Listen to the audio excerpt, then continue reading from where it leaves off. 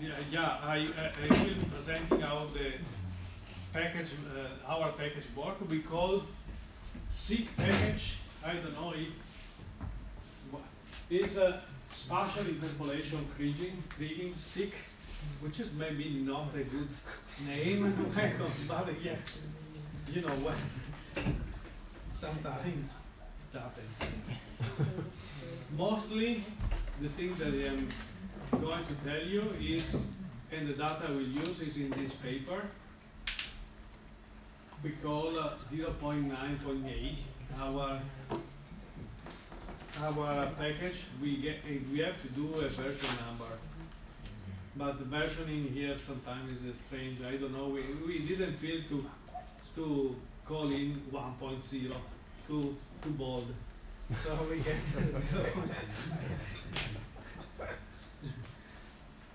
Uh, this is the way we present, uh, usually, one of the way we present components. So our package has actually four components, but the main three components are those ones. We have uh, uh, uh. This does the job to, uh, to estimate the, the experimental variogram you see what is in input and what is in output, in information that for other things is missing. But we have, uh, we will ask for your help, also to help us to, to complete our documentation, maybe sometimes should be always give uh, things like this one. Uh, if we take uh, the station shapefile, meaning the position where the shape, the, the stations are, and uh, the measurement data in the stations. And what gives out? Give, gives out a distance, a reciprocal distance uh, vector, and the experimental variogram through the distance corresponding to corresponding to those these some points. So you have a, a scatter plot of distance with uh, the, the experimental variogram, which actually are some point along the distance. Then we have this, this SIK TV, TV, which is not an Indian television. Uh, it is just a, a, a, a, a component that has in, in its core 11 models of variograms. And you can experiment some of them. 11 models of variograms, so you can uh, you can understand that uh, you uh, come in with the distances that uh, come out from the SIK, and you go, go out with a theoretical semi-variogram, meaning that you actually you have some other parameters here that you have to fit the model have three parameters, you see, one is the range, one is the sill, the nugget. I don't tell you right now what it is, but tomorrow we'll do some variography, meaning we explain what are these terms. There are some more parameters to fit. And we go with the with this magic curve, which is the theoretical variogram that allows us to solve the linear system. CK is the solver of the linear systems and gives you uh, uh, the measurement with the geographical information about the measurement, saying that okay, this is temperature where, and it tells you also uh, where it is according to a certain project projection, meaning that the result is a shapefile. Uh, Riccardo, sorry. The, uh, the module number two, you have to choose the one of the 11 model. Yeah, yes, you have to choose one of the 11 models. Yeah, not all the parameters are specified. Yeah, you have 11 model. You, you have the we. I show you maybe also now the the which are these 11 models. Some of these 11 models, and, and you have to choose one of them. That is completely, in principle, one thing that uh, in, in building that paper, we do we did a big simulation in which the, we do we did automatically also that we choose automatically all the models we feed the models to the data the data the, the, the model will choose automatically between the one as a parameter of the of the system at the end we we we select the best one. In principle, it's possible to do it. Yes. You, you have a minimum of number of stations for the. Yeah, kriging uh, usually require uh, to have a number of stations uh, for giving a reasonable result. Otherwise, you have a Yeah. very bad results. Yeah, if, you have, yeah, if you have one station, Yeah, yeah. I was curious in this case Yeah. many. uh, um, our perception is that you need a, a long, uh, at least ten, ten, around 10 stations. And if there are nine, it's okay. Yeah, but- okay. But the, the, to do this type of analysis is meaningful if you have uh, quite, quite a, a good number of stations. And do you have uh, classes for theoretical variograms? Can I plug uh, my theoretical variogram model inside the Yeah.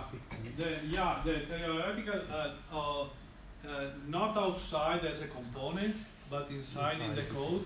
inside in the code, the code is built in a way you don't touch, don't, you don't modify the code, but you add your extent.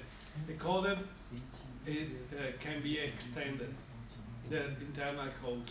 Because the internal code, in, the internal code is a thing that we also wrote in the paper, we use some, uh, we call design patterns, where everybody brings his class with this model and just add a new class. We have just to add, not to modify the previous code. This is, what we think, a necessary features in this kind of things. That, for instance, in other code that we wrote in the past is not present. We you cannot just plug in new codes, but it doesn't happen at the level of components. It happens inside the level of classes.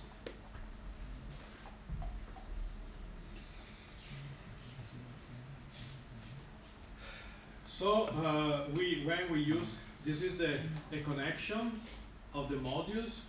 The uh, uh, uh, experimental variogram go to the SIK variogram, and then we have from here we have the map of we have the, the measurement point. Actually, we have two. You see other two uh, two components. One is called particle swarm,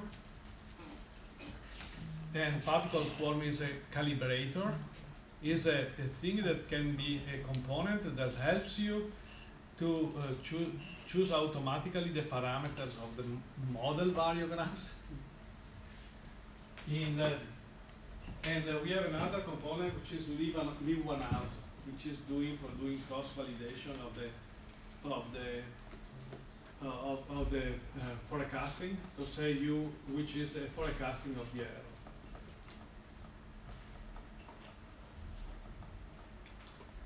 Uh, you can obviously one, one characteristic of modeling by components is that you can uh, uh, run part of them and uh, in principle do uh, uh, validate any of the component singularly both from the informatics point of view and from the physics point of view. So here we take just one uh, one part of the previous graph and what we do here, what we do here, we use particle swarm, but we simply e- evaluate the theoretical semi-variogram against the data, and we put as a result the semi-variogram. So here we are analyzing the theoretical semi-variogram and how they work, and you will you will do an, an experiment like this one. Obviously, if you do the you if you do by hand the thing, the initial guess with your variogram can be very wrong. So I put a far, far away in that thing. And the final, uh, the theoretical variogram optimized the same class of variogram there.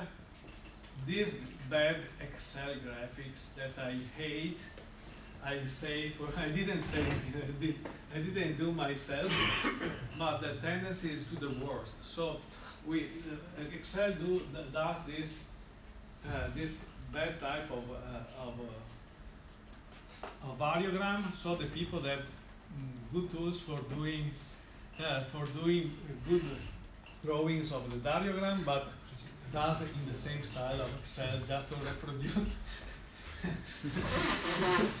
this thing. So this is a better way. Ah, so what do you have in the in the in the SIK package? You have 11 models for the semi-variogram. Four krigings actually, because I just presented to you one kriging, but we have here four flavor of kriging. One is called ordinary kriging. One is called uh, uh, local uh, local kriging, meaning okay, we need at least 10 stations. But we have 100 stations. Should we use all 100? Obviously, you add one, one station, you had a lot of interaction, the, the, the calculation time is growing. So if you are thinking that uh, the, the length scale of the correlation or the physical process is not so big, you don't go from here to China or from here to Japan. You go from here from 10 kilometers, you, you localize the search, the use of the stations for any point. And uh, the trended kriging means that uh, there are some variables like temperature which are strongly dependent from elevation.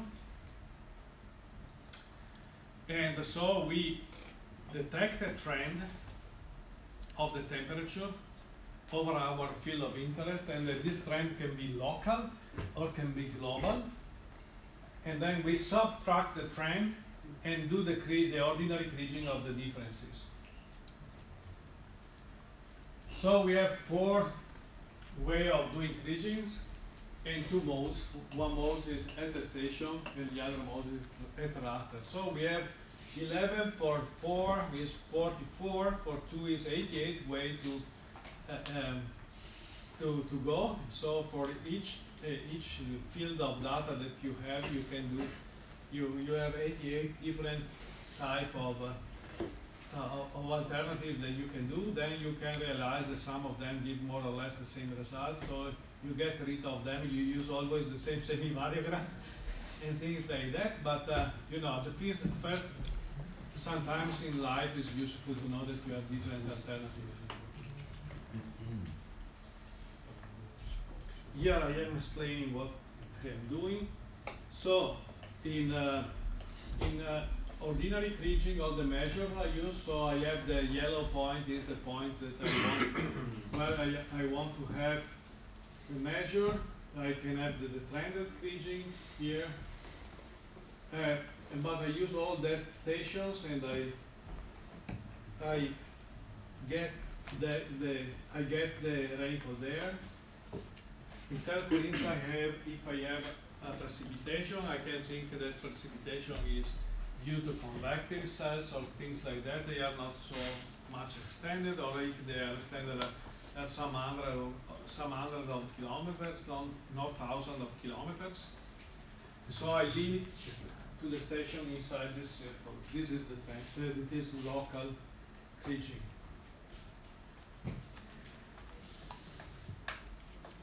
Obviously, this can be run in real time.